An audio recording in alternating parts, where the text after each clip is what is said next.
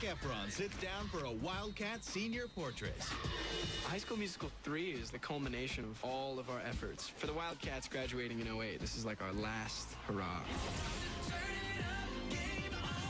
We have prom in High School Musical 3. Asking a girl, that's got to be the most awkward moments in, of your entire life. Look, at I'm like nervous already.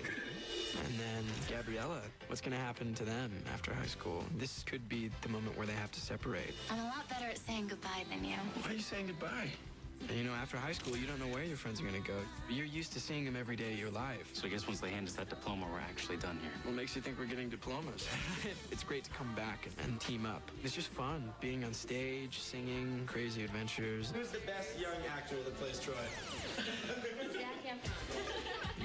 You school, you see your friends. That's why you wake up to go to school, is to be with your friends. Word. I think high school musical is what we all wish high school was like. Life's a lot easier when you can sing about it. Keep watching Disney Channel for more senior portraits of your favorite Wildcats. But you can only catch their newest adventures on the big screen in High School Musical 3 senior year.